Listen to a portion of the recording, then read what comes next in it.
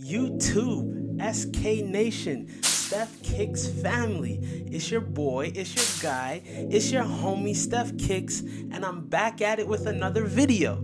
Yeah, you good? What's up? In today's video, we are going to be reviewing the Nike Air Trainer 1 SP in the coriander colorway. I'm so excited about this sneaker. I can't wait to start talking about it. But before we do that, you guys know we got to take care of business. If you are a member of SK Nation and returning to the channel, I appreciate you. Thank you so much. However, if this is your first time here, when you join the nation, you get exclusive information on the latest drops every month. You get mall vlogs, you get sneaker con vlogs, you get unboxings and reviews. If that's something you're interested in, please make sure that you like, comment, and subscribe to the channel down low. now let's go.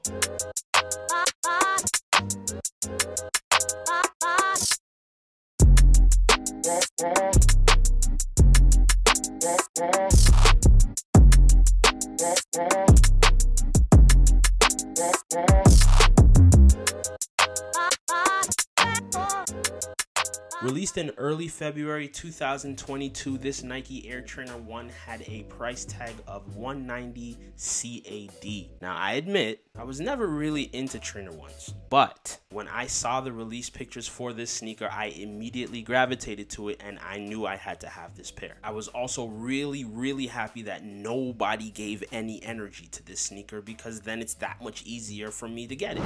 This sneaker came in a beautiful black box with a shiny Nike logo over the top. The info tag on it reads Air Trainer 1 SP, coriander, ashen slate wheat. What's ashen slate? Googling that later. And as you guys know, I wear a nine and a half. There's your tag right there. I must say I do love the box. It gives me a Jordan 1 vibe. Only thing, the top lid does not come completely off. It folds open.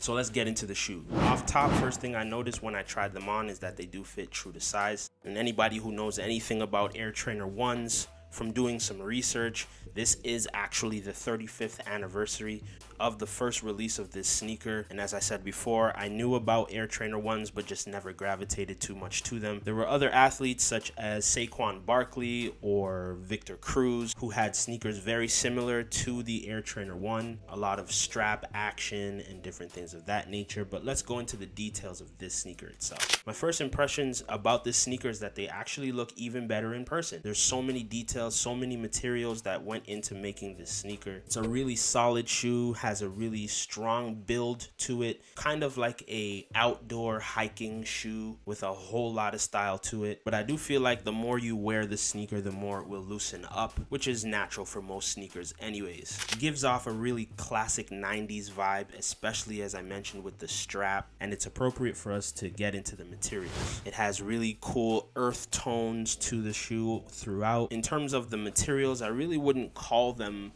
premium materials. It gave off a wearability vibe, a shoe that can really be put through the test of time. There are these rough type mesh materials on the toe box, still soft nonetheless as well as on the tongue you have some other mesh material but also in a different type of material and I really love that because that shows a different side to what Nike is thinking they're really trying to reach out to many different types of people and get their products out everywhere. Moving over to the mid panel, we have this suede-like material, but also durable.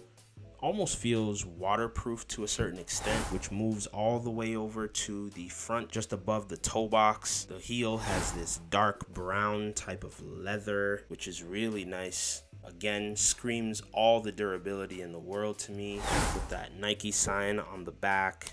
Another detail to the sneaker that I think is really interesting is the blue bead type design on the little pull tab here on the tongue with the Nike on the top. And of course the strap here comes right off like a Bo Jackson type of vibe with the strap. Moving on to the midsole, coated in this bright yellow with this obvious interruption of the outsole on both sides. And I think that's a dope touch. It's almost as if you dipped your foot in something like a cement because it has a cement type of color. And since we're on the topic, let's move on to the outsole. It's got this clay looking color, beautiful. with these little speckles of blue, black, that Nike on the bottom in that peach color much the same as you had on the ankle as we mentioned earlier then moving on to the nike swoosh on the side of the sneaker just sitting in the middle and one of the biggest details of this entire sneaker it is 3 M all over. It's expressed all over the front of the shoe as well on the back of the shoe. And then these five little dots of 3M just above the midsole. You have it all along the back of the shoe, just over the Nike symbol in blue. Also above the ankle area, all the way around to the back. Nike coated this sneaker with 3M all over the place. And also a small, nice little detail on the back of the tongue it is coated in like a baby blue, much like the color of the beads on the front of the pull tab. That's really cool. I love that. The insole has a Nike branding in peach color. And then you have your orange laces, of course, which I couldn't see any other color of laces going on this sneaker. Maybe a yellow maybe a brown, but nothing else. And lastly, the other really cool touch to the sneaker is behind the Nike swoosh here on both sides is this iridescent mesh. I'm really gonna try to capture this in some B-roll for you guys so that you can all see it properly in its truest form. The eyelids are in a gray color as well as the harness for the strap on this side. It's a really, really dope sneaker. Nike is also releasing this sneaker in two other colorways. I'll put them right here. That black pair. Whoa.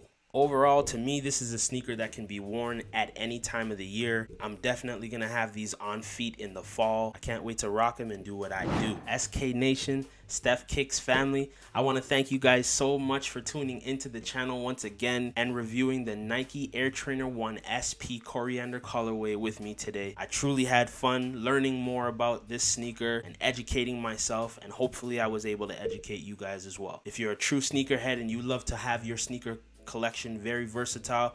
I would suggest picking up a pair of these and rocking them the way you like to rock them. I really appreciate all the love on my socials and everybody asking me when this review was going to be coming out. We got plenty more action coming on the channel. We got reactions. We got a whole lot of other things coming.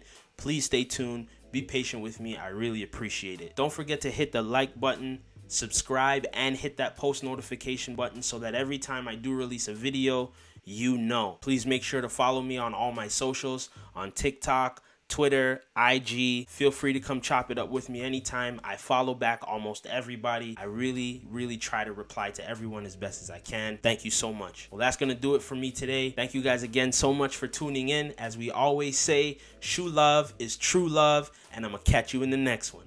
Yeah.